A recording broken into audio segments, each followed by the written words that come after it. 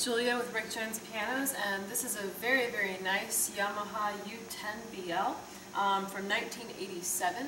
Uh, this piano is, uh, in, in many ways, an upgraded version of the very popular and very well-known Yamaha U1. Uh, has a very, has a slightly different design um, externally with the lid.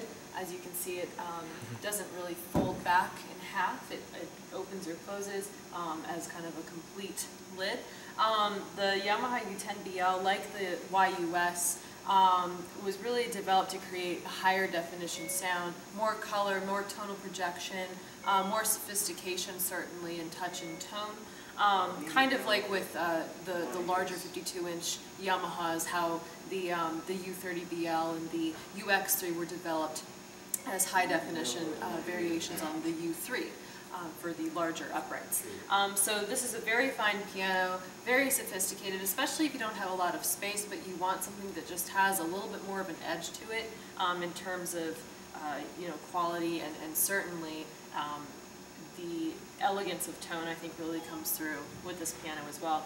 Um, it is on the mellower side, which actually impressed me quite a bit. Yamahas uh, stereotypically tend to be a little bit more bright and clear sounding, um, so I would actually give this a 4 on the scale of 1 to 10, uh, 10 being the brightest. 4 is just kind of leaning a little bit mellower. Being a Yamaha, I think it still has plenty of clarity to it as well. Um, but if you're someone who's looking for a Yamaha that maybe is a little mellower, maybe something that, that uh, you would sort of expect to get from a Kawai more so, this is a really great option. I would highly recommend trying this piano. Uh, the touch as well is not overly light.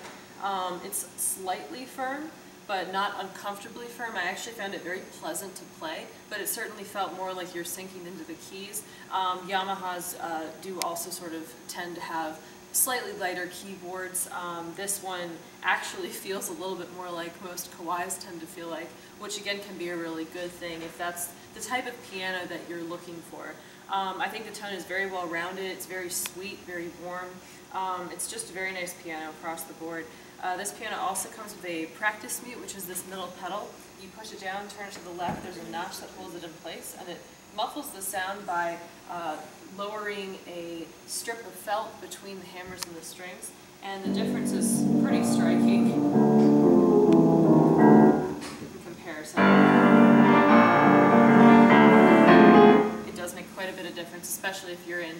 apartment or a townhouse, or if you're in a family and with lots of children and uh, you want to be able to practice quietly um, while people are doing other things. A lot of parents ask about it as one of the first elements of a piano they're looking for, understandably. Um, this piano also comes with a matching duet bench, which opens. You can store sheet music inside of it. We include this wrench in it because over time uh, these nuts will get loose as it is new wood the more you sit at it. Um, this is just the flat top variety. We also have a version with buttons if you prefer the look of that. can easily swap that out.